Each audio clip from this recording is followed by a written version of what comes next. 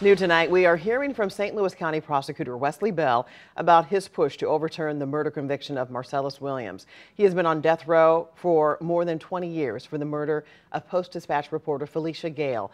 She was found dead, stabbed 43 times in her University City home in 1998. Bell told our political editor Mark Maxwell of the show on the record he filed the motion because of new evidence. So it's important for us to get it right. Uh, there is evidence that uh, that the jury at the time would not have been able to see because we're talking about DNA evidence. Uh, I think it's called contact DNA, which was not on the murder weapon, on the on, knife. on the murder weapon. In 2017, Williams was just hours from being executed when then Governor Eric Greitens granted a stay of execution. Bell says he's asked the Missouri Supreme Court to give his office time before scheduling another execution date. One month